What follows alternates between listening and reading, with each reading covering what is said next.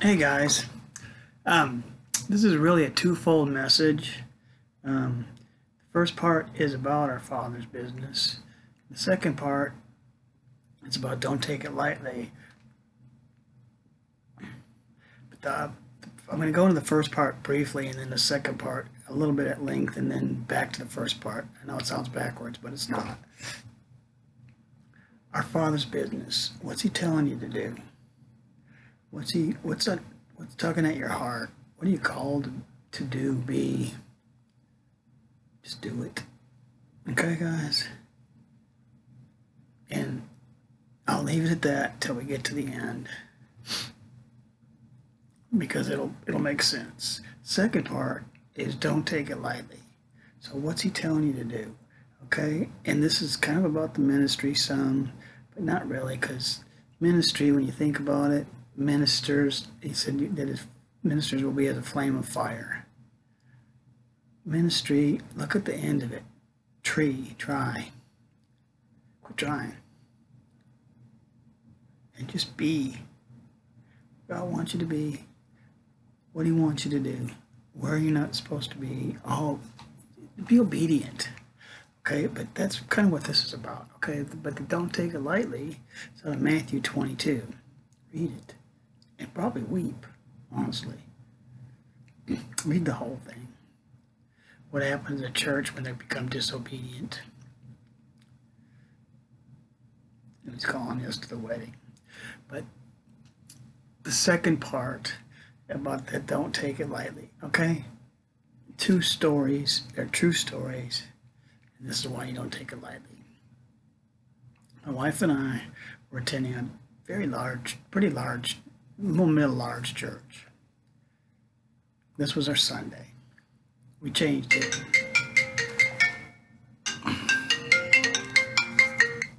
Sorry, spam call. Didn't turn my phone off. Apologize. And this was our typical Sunday. We changed it to where we got off on Sunday, but you know, my wife wanted to say, you know, we're the facilities people and all this, but really we were just the janitors. I was helping her because she had the contract to clean the church. Well, this would be our Sunday. We would clean. My wife liked me to clean the bathrooms. Um, it was just now I like to clean them too. Not really like to, but I mean, just it would, you know, it worked good for us because she was a lot more detailed than some of the other stuff. And then she'd come back in and you know, foo foo whatever I did. So 12 toilets, 12 stalls. Okay, I go to the, then we would finish and have to hurry up after service because there was three, literally about 3,000 people. It was a mess. And we'd have to hurry because we had to be at a homeless shelter in downtown Dallas. We did this for three years, almost four. And we wanted to, I wanted to start service before five by 4.30 if I could. So we were really pushing it to get everything done, get out the door, get there, pray, prepare. It's very busy, hectic. And when I, one of the time when I got there, I held my hand, I said, in this hand I got a toilet brush, and in this hand I got a Bible. So I and get some clean up messes wherever I go. And then we'd have to hurry up and get back because we didn't want to be there too late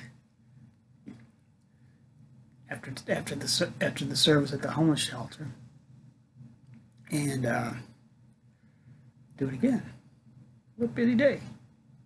Well, one to Sunday, but one day I was cleaning the church, cleaning the stalls. Somebody came in, I was cleaning one, somebody came in started using the other one. So I had to wait. So I, well, I got plenty to do. So I go to stock and to- uh, paper towels. And I'm just by the sink, and there's this young kid standing there conversation. You know, I kind of had my back turned to him, but not totally because I didn't want to be, you know, rude. But I said, "Hey, how's your day going?" This is what he said. Not good. It was almost an hour long, guys. That I had to minister to this young kid. He had really bad, some kind of horrible kind of cancer. He lost his job because of it. Couldn't afford the insurance. Couldn't afford his apartment staying with his sister that had three or four kids, older sister at that. Just the dynamics of that, and just man, he was in tears. devastated.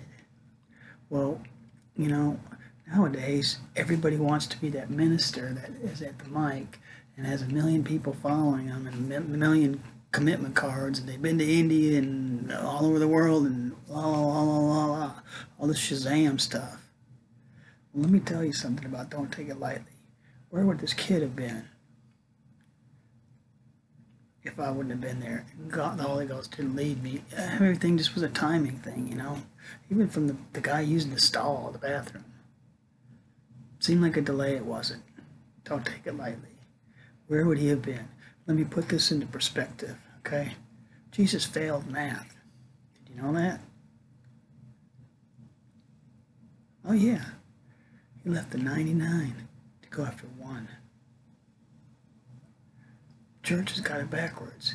We want to go after the 99 million and leave the one.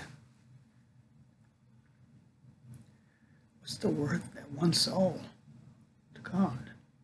So don't take it lightly. That's that's one. I've got others too, but I've just got to share this other one with you because I don't want this message to be too long. What I'm doing is it's a helps. I'm ministering to the ministers, but I'm ministering to others. We have a 16 by 70 foot warehouse in an old cotton gin building with a dirt floor, but everything's clean. But I just got some donations of like six cases of adult diapers. So you want them, come get them. I need to get them to the right person though. They also gave me about 100 pairs of really nice Dockers, almost look brand new, and some jeans. And and plus I have a bunch of stuff. The warehouse is packed and I can't get to it all. So if you're in that, if you're that type, that if you got a ministry, come down. We'll talk. You know, leave your checkbook at home. That's part of where I'm, where I'm going with this. Just bring change on your dashboard. Buy me a cup of coffee. We'll call it even. This might be for you. Come get some stuff. I've got everything from antiques to signs to furniture to just stuff, clothing to some of it's good, some of it's you know I go through the trash and I'm getting rid of a lot of the trash. I got rid of most of it, but you know, come on down. We'll talk. The, just email me at jesusisaliveinamerica.com and we'll talk.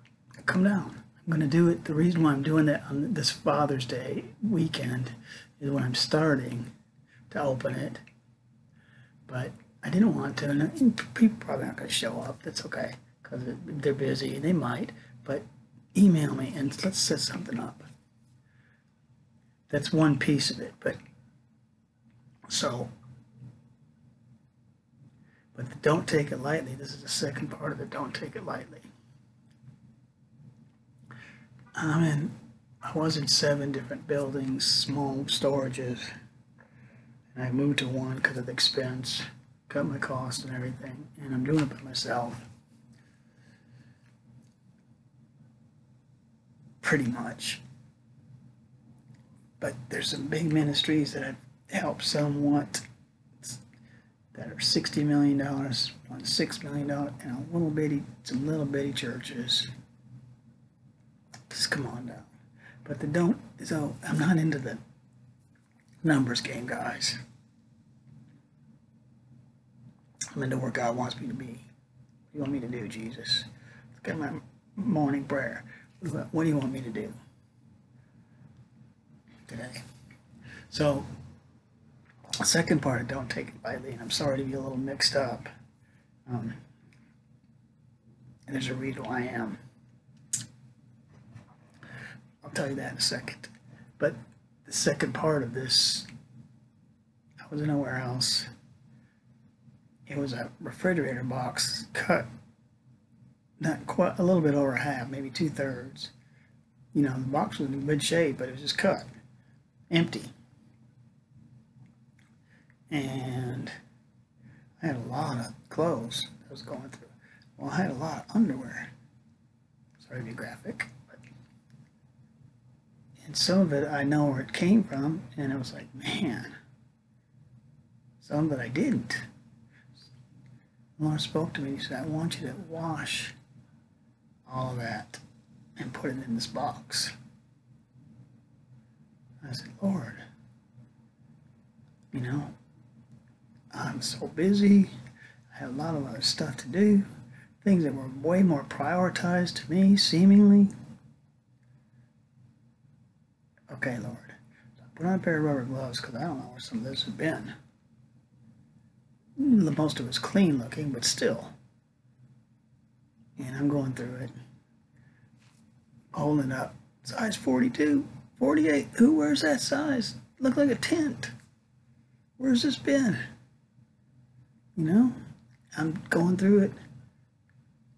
Guys, it was 20, I used five commercial washers. And, you know, my wife would probably laugh, or anybody that does laundry. I just shoved it all in there. It didn't matter, color, white, whatever. And if it didn't come out, I threw it away. If it came out clean looking and usable, I kept it. Five big commercial washers, guys. I spent like 23 or $25 in quarters. And then I had to buy soap. And I spent a lot of time, a long time doing it. Probably half a day at least. It was a long time. And I'm digging through this box, or not digging through it, but putting stuff in there and doing all, you know, the stuff that associated to it. I call, you know, we all call praying sometimes, but I was complaining to God.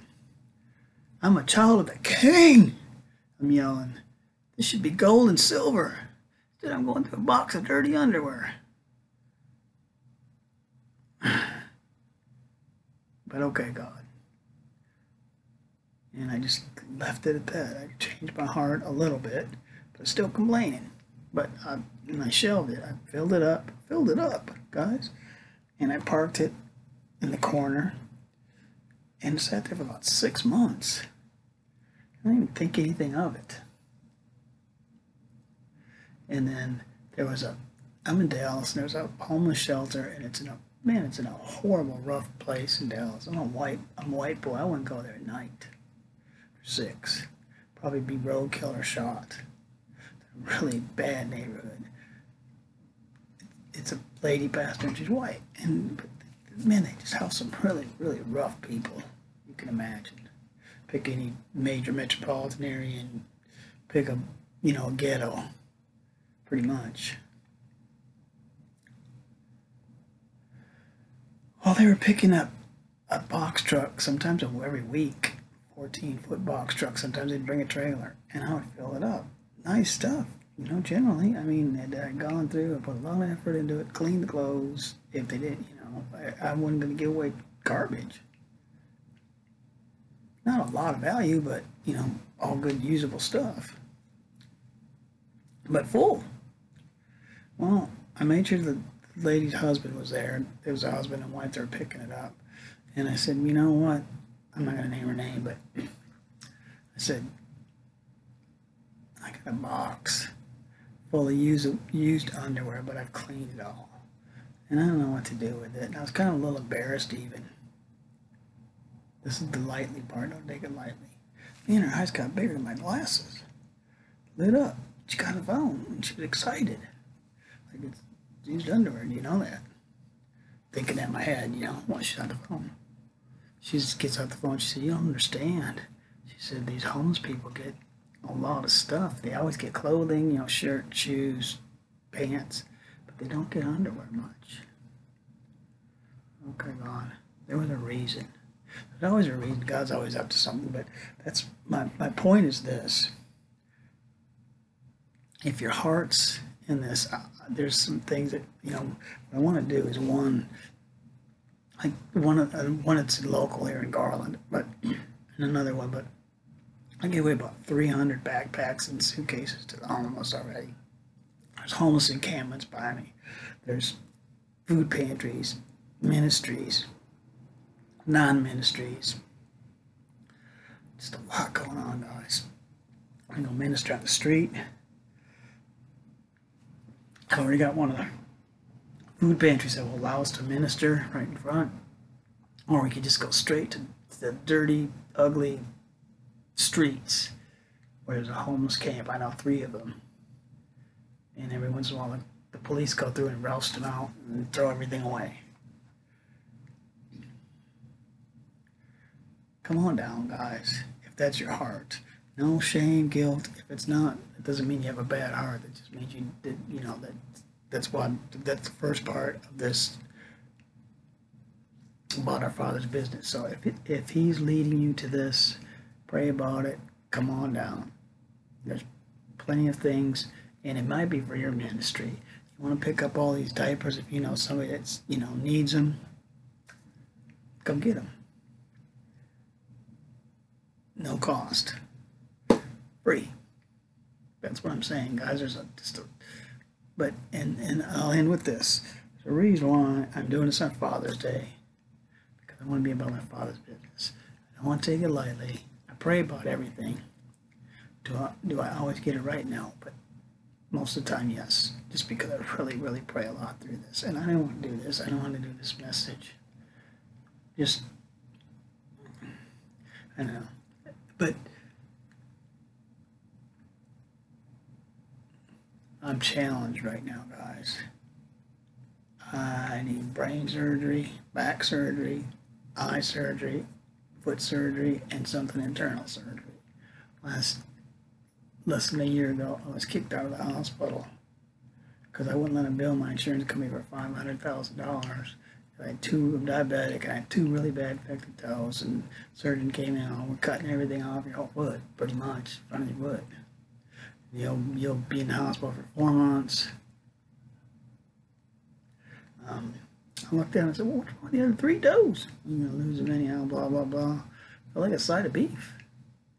We didn't realize that I had been praying all night. What do you do when you're in the hospital? You know, I was sent, I'm pretty much in an emergency case. So, you know, I couldn't sleep. I needed to pray. Everything hurt. The, the infection was in the bone. Guys, look it up. That's not, need, that's the first line of defense when you're at the hospital, just God.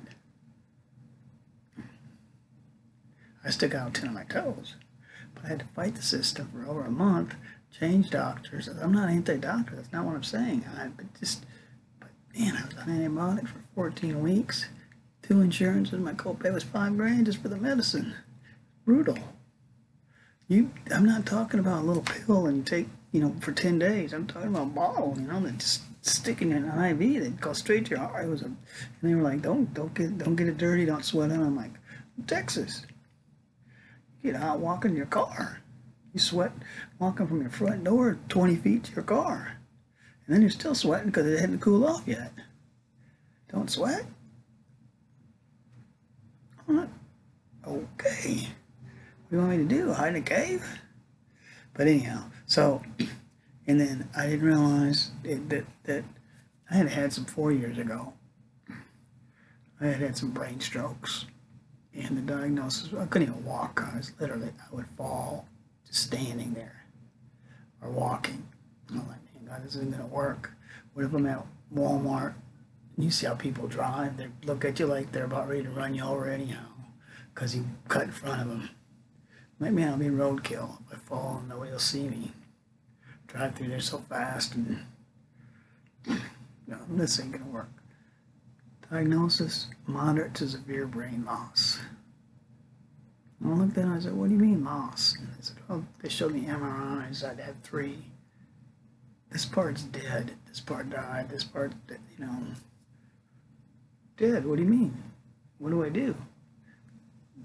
They gave me the dumb look, and they were very good. He was a very good doctor, very professional. And his staff was great, and it was an awesome, you know, experience, except for being there. They took good care of me. And they said, there's nothing you can do about it. Okay. A regular doctor's like, take a B12 and a, an aspirin. I'm like, thanks for the Walmart advice, you know? But so, that's why I said I was a little out of it. So Elvis has left the building, guys. This time I've had some more. And I'll have a card in front of me calling, you know, doctor, whomever. Take me 10 minutes. I'll call the wrong area code. I'll call the fax number. Oh, oh, that's an 8 instead of a 3. Pretty challenged. So come on down and let's just talk. Pray about it. Do make sure that you're about your father's business. I don't want you to do anything that just out of guilt or shame or some I'm feeling some phony obligation. No, no, nothing attached it. There's no chains attached to it. No strings attached. You need stuff, come on down. Whatever. I'm gonna pray about it too, though. I'm not, you know, 100% saying, you know, we'll connect. What I'm saying is let's connect some of these dots and be a part of Father's business. Email me at Jesus is alive in America. Com and come on down. We'll talk, set up a meeting. It's local here in Garland, Texas. It's not that I could use you as help. There's a lot of people that need help. So it's not me. I, I'm just going to kind of direct and administer, and there it is, and just stuff. But it's just a tool to get into their world. We can do anything from old fashioned, just street preaching right on the street, to just delivering stuff to people, just whatever. You know, pick it up. Maybe it's your ministry that we gotta help. Okay? Yeah, I still got another minute. I'll just one more minute. When I very first started this, this lady came. Two stories, real quick. Bought a pub table for 40 bucks somebody gave me. Even pay for it. She, she paid for it, but she hadn't even paid for it yet. She's just broken into tears, just crying, telling me her story. It was her, it was her birthday. No, it was her mom's birthday. When her mom was 12 years old, she watched her mom brutally murdered. Watched her brutally murdered. Saw it with her own eyes. Okay? A very good story. Man, she they were real, real solid tears. Some lady I didn't even know, guys. Just walked in this simple transaction. Don't take it lightly part. God didn't take it lightly. He's trying to reach this young lady. Just recently, and I just delivered him a couple days ago. I was at the scrapyard. Just dropping off some scrap, guys. Don't, you know, going in the window, lines long, you know, normal course of business day. Not, you know, if you do scrap or whatever, or whatever, you know, wherever you're going, store or wherever. Normal day. I had a suitcase in my car that I was gonna, you know, was destined to go somewhere else. And the lady looked at you, man, it's a nice suitcase. What are you gonna do with it? And she proceeded me to tell her some of her life story. How she was, you know, poor when she was a kid, and they just had a rough life. She was a forty-year-old, maybe forty-five-year-old woman, but she looked eighty. You could tell she had a very rough life. She said, "Can I have it?" I said, "Well, not this one." I said, "But I got some more." But I was so busy and so many just different things that came up medically, and you know, I got a hole in my toe I have to fix all the way to the bone. It's just, and all this other stuff that's going on, and so it took me about a week to get there, but I brought four of them, really nice ones, guys. I cleaned them.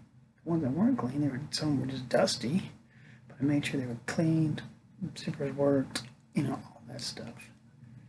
Man, I saw her today or yesterday. I went to the scrapyard again, and um, she just man, she she looked was kind of almost a glow. Thank you so much. You could tell she was sincere from the bottom of her heart. So that's what I'm telling you. You know, forget the million. What if it's just the one? I'm going to get a chance to minister to her. I just, you know, I'm not going to do it and make other people wait in line while I do that. I'll get a chance to, an opportunity to. I've already, doors already started to open on this one. I didn't open it, God did.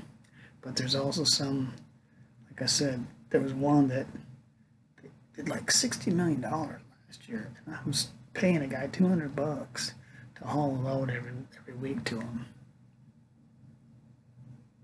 500 to a $1,000 worth of just stuff. But it was cleaned or, you know, it, it was just because they had a thrift shop. But man, the amount of labor that's in it, in that. Not my, yeah, my side, yes, too, but just even in just having the shop and the storage and the place and the retail, and the, pretty intense, guys. I can't do it. I'm not going to do it anyhow, that part. But get the stuff. Come on down. Email me at Jesus is alive in America.com. Because, God, we got to pitch in on this deal. Just look around. what the world's come to on this. You don't have to politicize it. Just look around, guys. Whether it's businesses, churches, government, man, just evil, the greed, the, just man, just the stuff. People are doing one of two things: they're turning to the cross. I'm gonna end with this: or they're turning from the cross. The ground is always level at the foot of the cross. Come on down, guys. If you're a minister, I've got a place where we're going to minister from a table where we're going to have flyers and just different things. I mean, I'm pretty open, guys. It's just going to be real open, downright old fashioned street preaching to whomever comes through the doors, wherever we go. Or maybe it's you. Come down, and load up your car, your truck, whatever. Or tell, uh, you know, I'm going to have to pray about it, though, because I want it to go to the right place. I want people to just come get a bunch of stuff that I, you know, I don't. I want to be a good steward over this. So that's why I said it's not 100% guaranteed. It's you know, come on down, let's talk, pray together, see what God has in store. Be about our Father's business. If that's you, because I've got three prison ministries that need some help, homeless shelters, pantries uh, some small churches, big churches, just a lot of stuff that needs to get connected. I'm not, you know, I'm not that big, guys. I'm not. So these big churches, man, I get them swallowed up in a little bit of stuff that I'd give them. That's not the point. The point is, like I said, the math that Jesus failed. Maybe we need to leave the 99 and go for that one. I don't know. You know, come on down if you're local or just this is a personal invite. Thank you for your time. Bless you. Have a great, wonderful day. Email me at jesusaliveinamerica.com. It, or, I'm sorry, jesusaliveinamerica at gmail.com. Thank you and have a wonderful day.